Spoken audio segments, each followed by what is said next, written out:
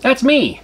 That's literally me as Vash the Stampede from Trigun this was taken at SakuraCon in the year 2000. How are you feeling? You got John Riggs, of course. I'm a huge retro gamer, and I'm also a huge retro anime fan. Fanatic, even. I love my breakfast cereal, my video games, my anime, and my pro wrestling, all retro. Now, this was taken, and I uh, will, you know, all of these were taken at the uh, at SakuraCon in the year 2000. It was year one for SakuraCon, but the third year for the anime convention in Seattle. You see, before that, it was called BakaCon, and they called it BakaCon for two years until I think they realized we're never going to get a guest from Japan if we just call it BakaCon. So they had a poll, and then I remember AmeCon was one of them, Ame for rain, and SakuraCon stuck, and you know, it works out pretty well. I want to say this used to be like in April as well, so it was during the time of like the Sakura, you know, like the cherry blossoms and all that. So my friend Dan took these pictures, had them developed, he's just been sitting on them for the last, what, 23 years now, I guess. It's funny because I was 23 years old in this picture. As long as my friend has had these pictures is how long it took me to grow up to this level.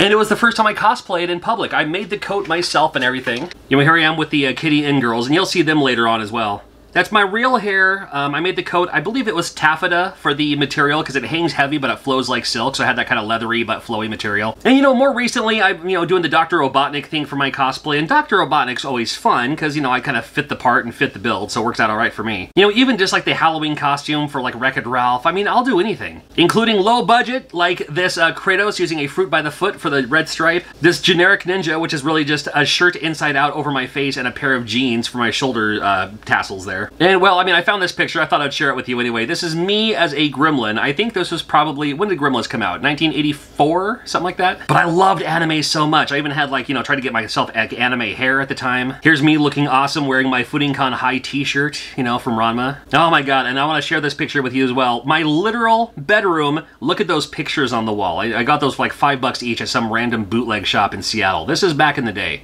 But just for fun, I'm going to share with you most of the photos because some of the photos didn't quite turn out right. I did scan them. If you want to download these pictures for yourself, if you need to grab any of them for yourself, I scanned them and I put them on my Facebook page, uh, which is open to the public. I have that linked in the description below, and the pictures you're going to see in this video are the same pictures that I just I, that I just uploaded. So make sure you check that out too if you'd like. A little walk down memory lane.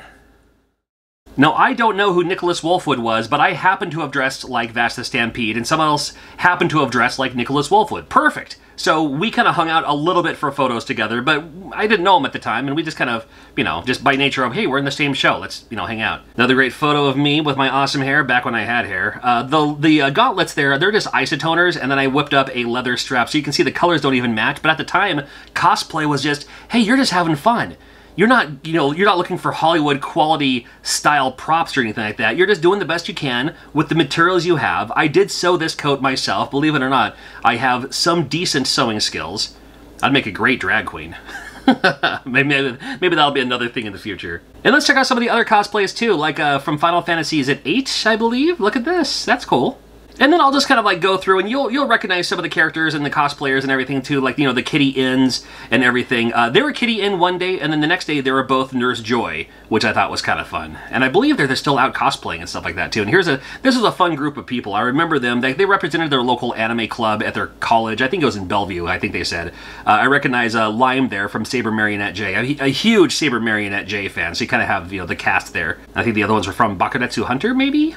Again, uh, we just had disposable cameras. That's all we were using. We didn't have digital photography, so even things like here's the you know the here's the cosplay contest. I did not win, by the way. I didn't, and I didn't need to. But uh, the accolades for me or the accolades for me, I should say, accolades, what? Um, were people afterwards saying, "Oh man, you should have won. Oh man, you should have won." And you know what? That's good enough for me. I don't, I don't need to win to know that I'm gonna have a good time. I knew I had a good time, but yeah, just, I mean, that's what I loved about cosplay in the late '90s to early 2000s was we were just doing the best we could with what materials we had. And you know what? Close enough is good enough. And if you figure out what we are and you know who we're supposed to be, that worked out great.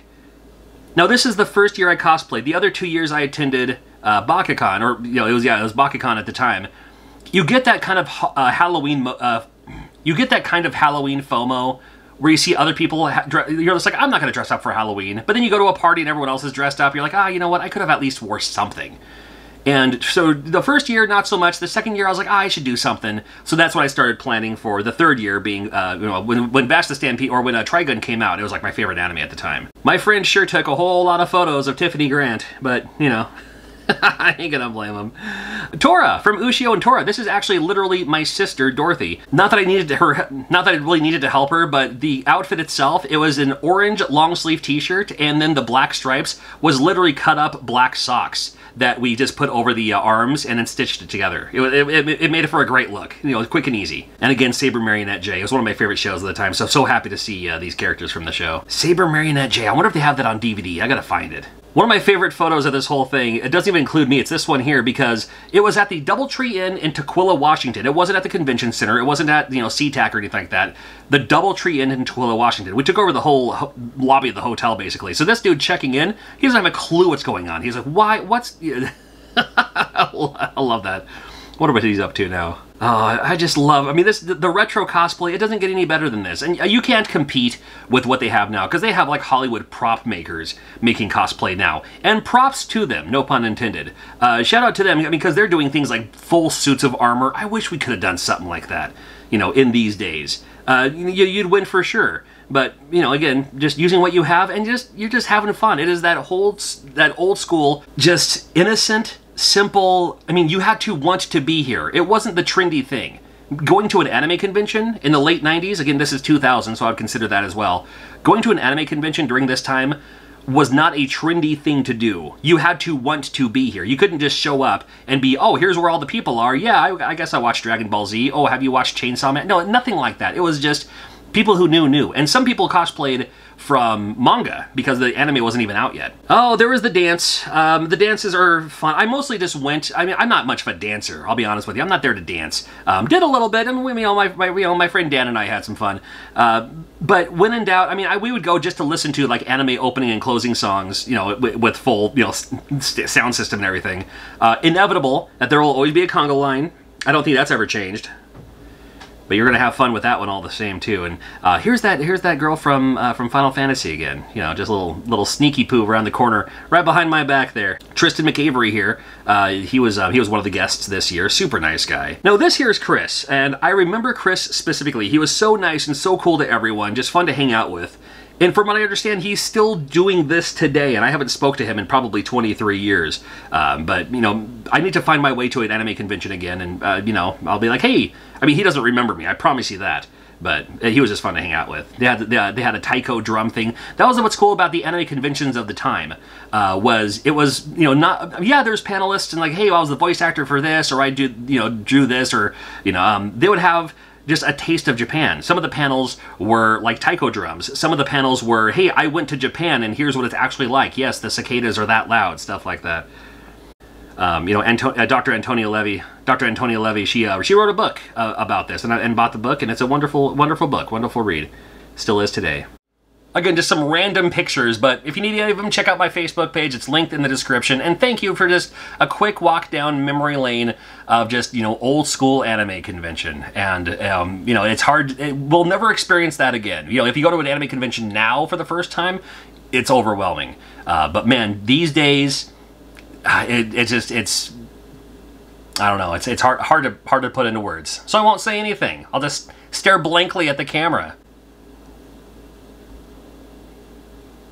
How's that?